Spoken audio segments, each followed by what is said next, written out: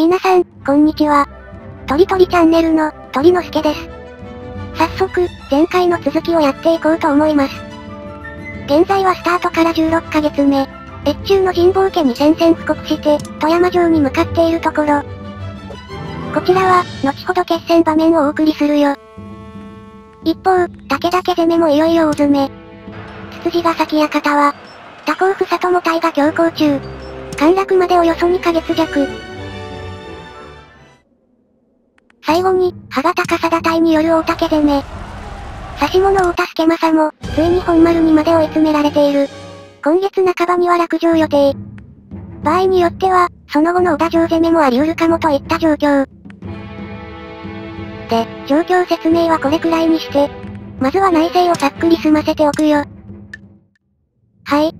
商用、農業の種まき、開発、歩兵などを行ったよ。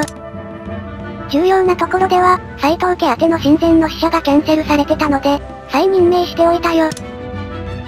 条約工作で親善をキャンセルしてしまっていた様子。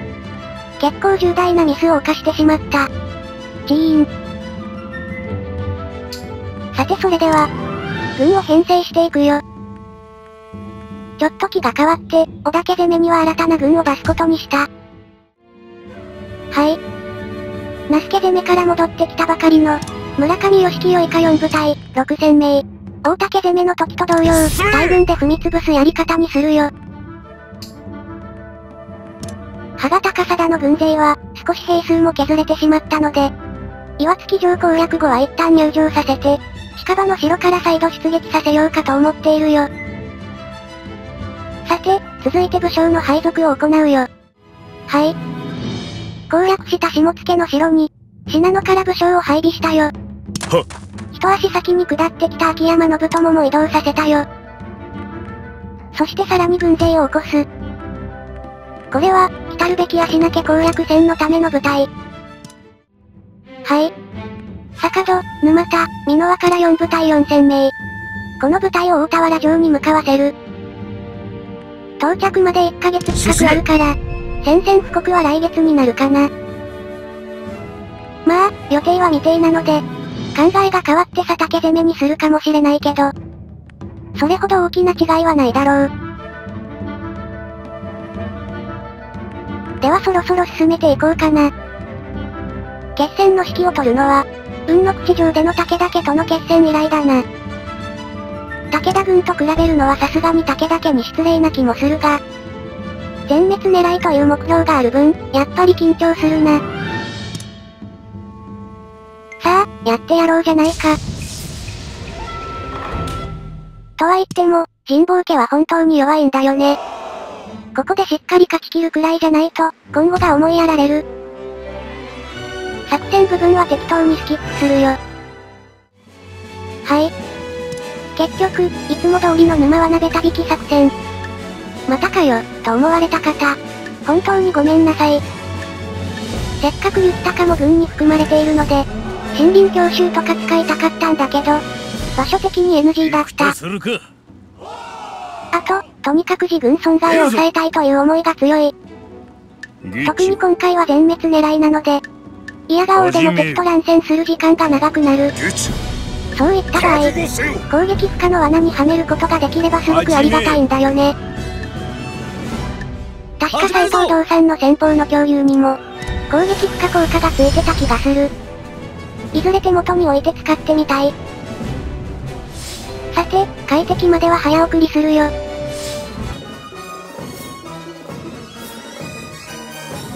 敵が徐々に進んできている。途中で立ち止まるパターンも多いと思うんだけど。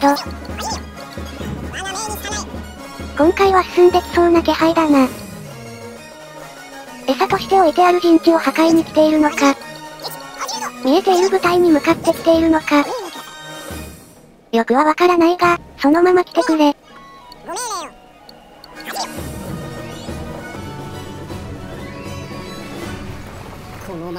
ここで、敵が一部隊沼罠に引っかかった。囲みに行くぞ。右翼正面の敵はどうしてくるか。直進してくれるといいけど、左翼側に引っ張られてしまうと、右側の罠が無駄になってしまう。敵対象隊を発見。さらに一部隊が沼罠にポチャリ。潰せ潰せー。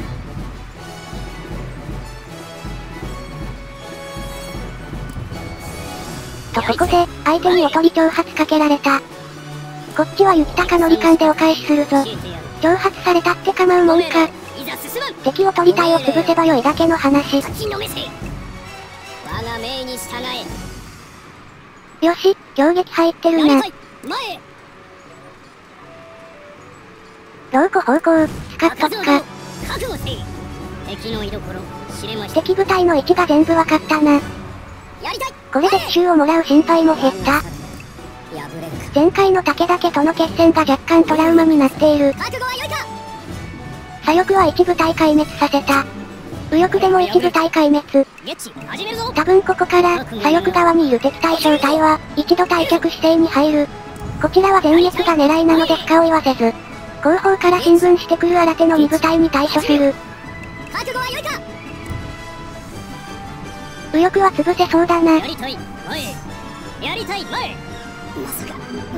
よし、潰しきったぞ。部隊数でだいぶ優位に立ったので、ここからはカッコ撃破していけばいいんだけど、うまく挟み込めるかな。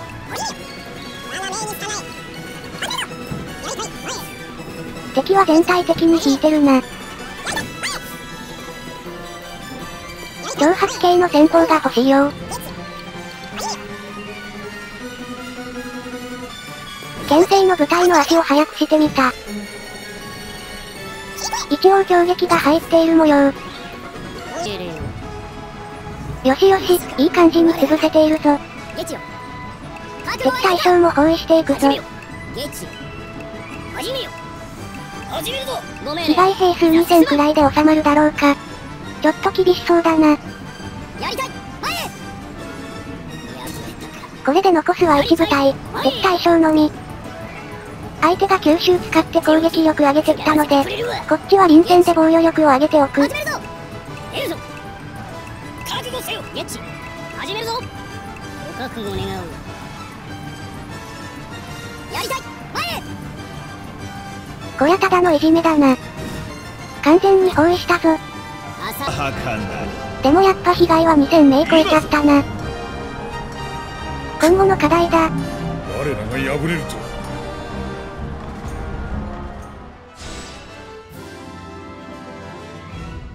とりあえず目標は達成した。わしを脅かす者はおらんのか？残った兵数も一応4000名以上いるし。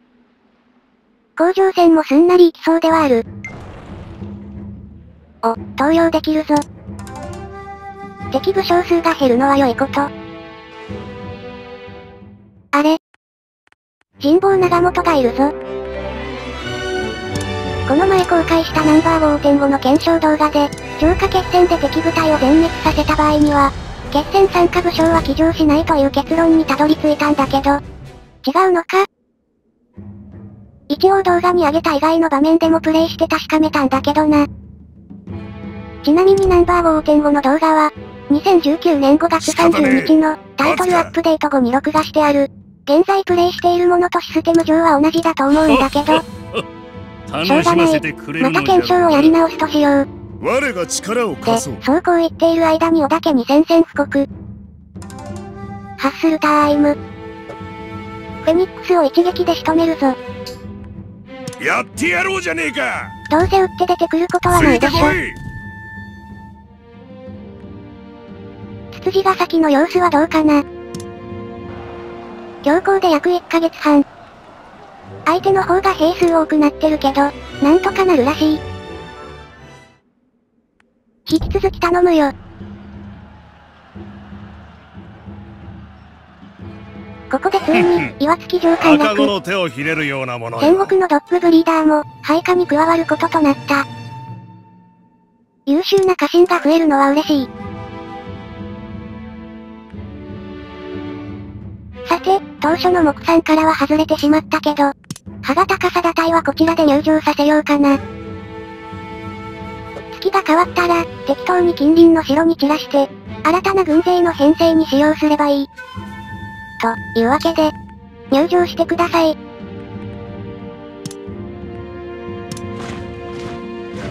さあ、次はどこかなちょっと早送るよ。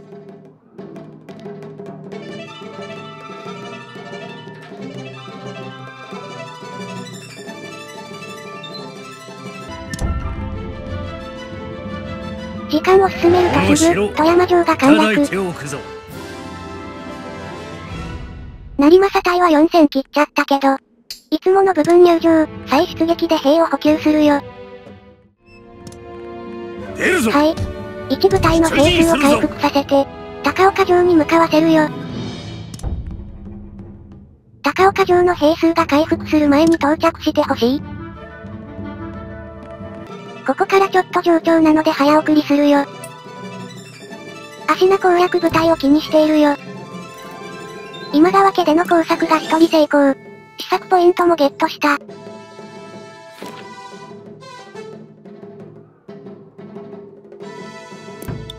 さて、小田城に取り付いたぞ。標高3ヶ月とは、結構時間かかるな。踏み潰す作戦は、裏目に出た模様。岩槻城に入場させた歯型を、あの人数のまま向かわせてたら、決戦できてたかも。まあ結果論なんだけどね。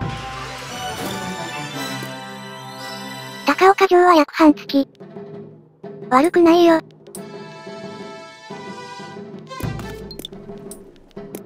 今度は烏山城から出撃する部隊の編成。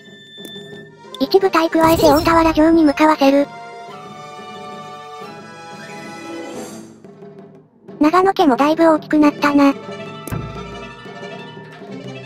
しかし、まだまだこれからだぞ。武田家の人材を手に入れてから、それをどの方面に投入するか。秋の収穫までに、どれだけ領地を増やせるか。まだ。そういったことに、今後の伸びが大きく左右されると思う。報告します。北条家との同盟がもうすぐ切れる。先月の収支です。あと半年くらいは延長しておきたい。これより表情を行う。表情はカットするよ。大田助政が犬伝令。雪高が攻め壇上を提案してくれてる。はい。結局、軍事、対名のポイントを取って、攻め壇上を手に入れたよ。農業、商業系の方策よりも、軍事系の方策と対名を優先しているよ。さあ、攻め壇上を取ったことで強行スピードは変わったかな。あ。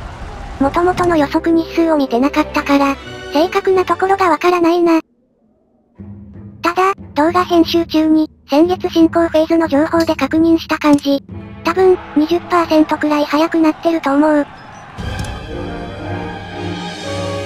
強行威力上昇中、は伊達じゃないな。さて、いつものように内政を済ませるよ。はい。商用、開発、母兵、武将の配属、恩賞などを行ったよ。また、下野の長尾正景隊には、大田原城から1部隊合流させて、6部隊、6000名の編成にしたよ。時間を進めると、高岡城が陥落。神保家も万事休している。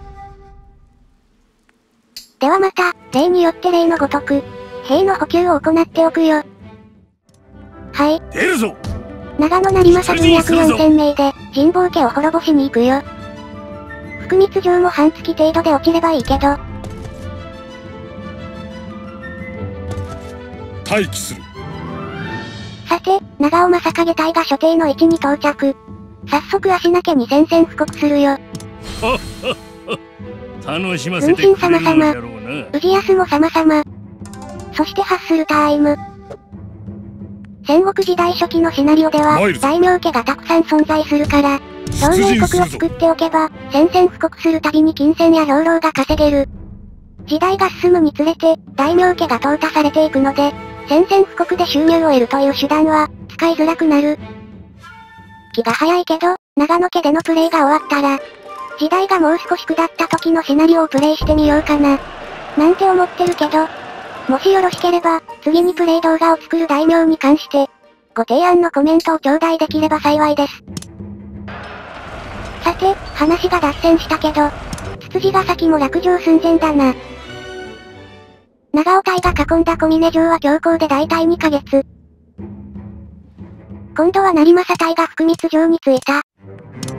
強行で約18日か。結構早いんじゃなかろうか。やっぱ、決戦での殲滅作戦の影響かな。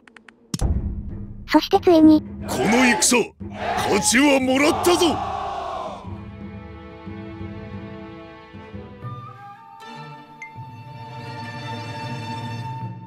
甲斐の虎を屈服させたよ。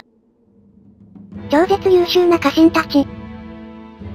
スタートから17ヶ月目にしてついに、オールスターメンバーみたいなメンツを手に入れたよ。ニヤニヤが止まらないけど、まだ天下統一したわけじゃないので、彼らには今後しっかりと働いてもらうよ。殿を天下人にしてみせましょう。だってさ、従順すぎるだろ。さてと、これでようやく、他交代を解散させてあげることができる。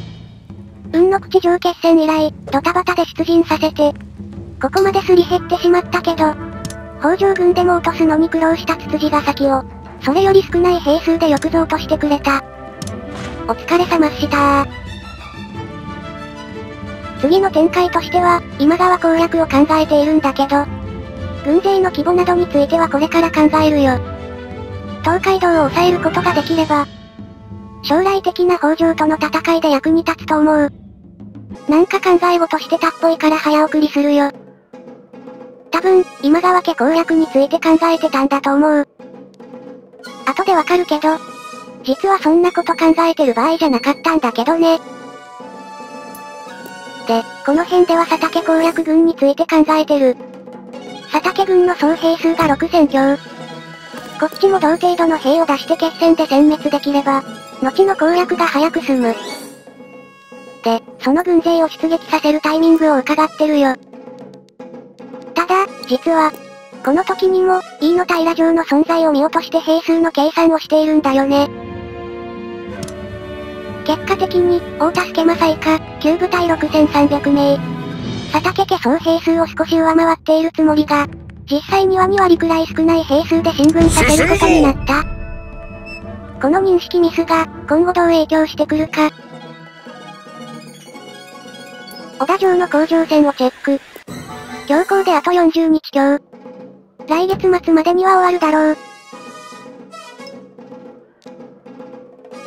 そして月が変わる。報告します。あやー。北条家との同盟延長忘れてた。しかもこれって敵視されてんじゃねえか。雪高の本願寺に関する忠告が耳に入らないほどのやらかしっぷり。ああやっぱり。相手の大名から敵視されてるらしい。しかもいつの間にか今川と同盟してんじゃねえか。今川攻略を始めようとすれば、自動的に北条とも敵対状態になるってことだ。やべえ、やらかした。そんなわけで、次回はこんなやらかし状態から進めていくよ。今後の展望については、現状のアイディア。それでも、目標の4年クリアに向けて作戦を練ってみるよ。